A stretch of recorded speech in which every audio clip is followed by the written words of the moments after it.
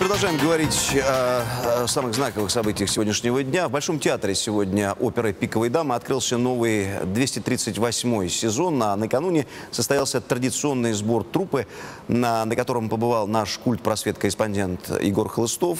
Э, Вчера это было? Нет, буквально пару часов назад. Мгм. Почему написано, что накануне?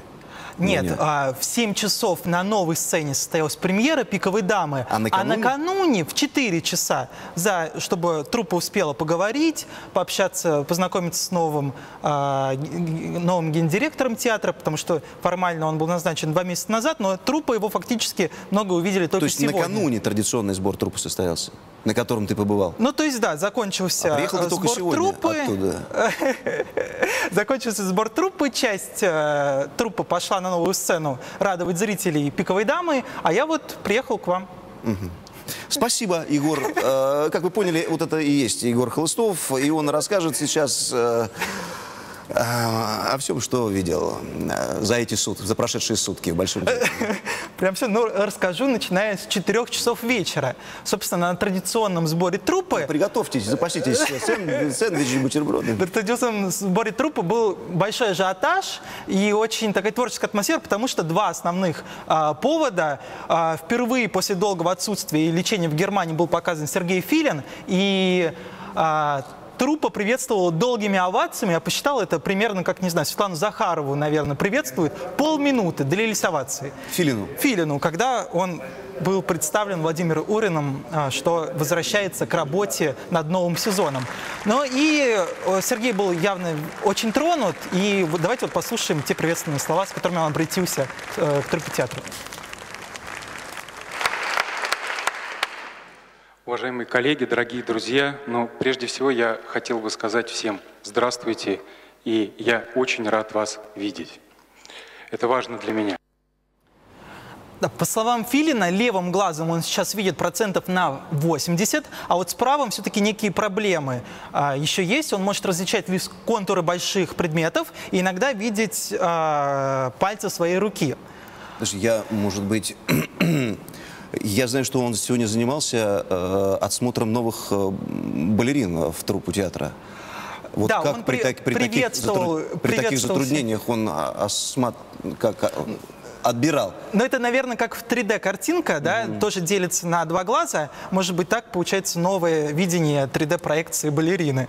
Э, Было представлено сегодня четыре новых... э, э, И балерун тоже, танцовщик, э, которых активно поприветствовал, фильм представил, и их труппа приветствовала ну, потому что они входят в Новый год а, в Большом театре. Также он рассказал о том, а, о новых премьерах, которые нас ожидают в этом году. Уже в ноябре это будет новая редакция Пьера Лакота балета Марка Спада. В марте а, балет э, Джона Нумайера «Дамы с камелями», а под закрытие сезона в июле будет абсолютно новый оригинальный балет а, Жана Кристофа Майо, художественного руководителя балета Монте-Карло «Украшение строптивой».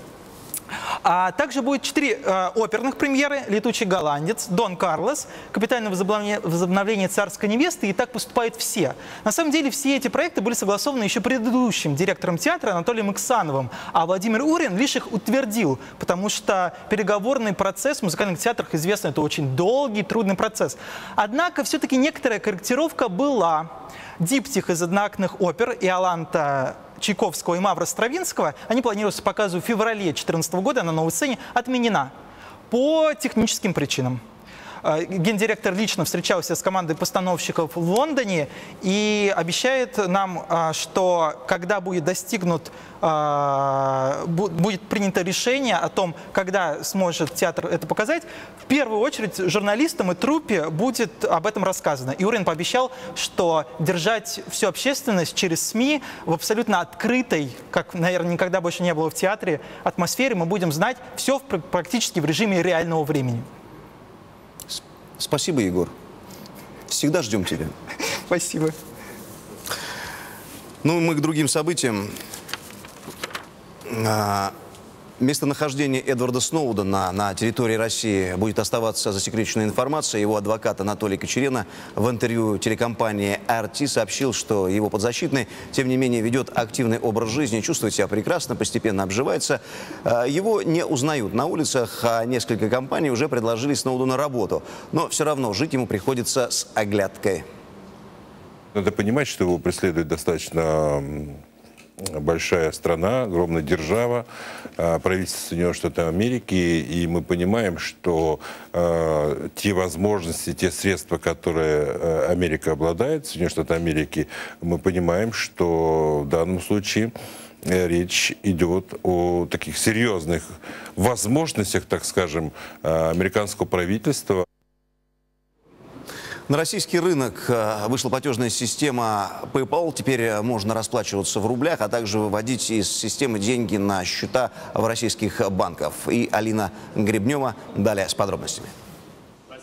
Американцы не скрывают, они планируют бизнес-интервенцию в Россию. В прошлом году мировой оборот PayPal составил 145 миллиардов долларов. На долю России приходится всего миллиард. Пока в партнерах у платежной системы 13 крупнейших российских интернет-магазинов. В PayPal готовы работать и с малым бизнесом, но, естественно, за комиссию. Сегодня э, PayPal предлагает ставки от 2,9% до 3,9% для торговых площадок, плюс 10 э, рублей фиксированный сбор. С нашей точки зрения это конкурентная ставка. Если оборот торговой площадки превышает 300 тысяч рублей, то эта торговая площадка может обратиться к нам для, для снижения этой ставки. Для обычных пользователей PayPal бесплатен, за исключением нескольких случаев. Например, если клиент захочет конвертировать те же рубли в другую валюту. Представители международной компании уверяют, что не боятся своих российских конкурентов. Но если у Яндекс денег клиентская база составляет 14 миллионов, то PayPal пока может похвастаться только одним миллионом активных пользователей. Чтобы привлечь людей к новому способу оплаты, партнеры PayPal обещают скидки и бонусы. Но действовать они будут всего месяц. Оплата в два клика.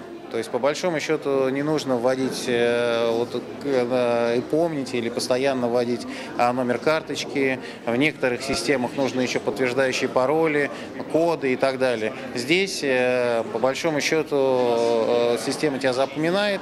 В два клика ты можешь совершить платеж. Главной площадкой для PayPal остается eBay. Они входят в одну корпорацию. Однако даже с началом расчетов за рубли радоваться интернет-шопоголикам рано. В eBay признали, что не смогут отказаться от доставки через Почту России. Никто другой не справится с объемом заказов, которые уже превышают 30 тысяч в день. Хотя для отдельных брендов альтернатива уже нашлась. Это э, DHL Global Mail. А, это такой, э, это не совсем, то есть это DHL, но немножко помедленнее, чем курьерская служба, то есть он доходит до Москвы за примерно 7 дней при стоимости доставки 266 рублей. Я не знаю, откуда берется эта цифра, но вот 266 рублей. То есть мы будем, я думаю, это был для нас эксперимент, можно ли это сделать, оказывается, можно, все нормально работает. Я думаю, что мы будем расширять этот эксперимент на других продавцов. Российский рынок электронных платежей считается одним из самых динамичных в мире. Его объем уже сейчас подбирается к 2 триллионам рублей. И даже по самым пессимистичным прогнозам ежегодно рынок будет увеличиваться на 10-15%. Алина Гребнева, Сергей Громов, РБК. После паузы мы продолжим говорить о событиях э, сегодняшнего дня. И у нас в гостях будет бизнес-омбудсмен Борис Титов. Оставайтесь с нами.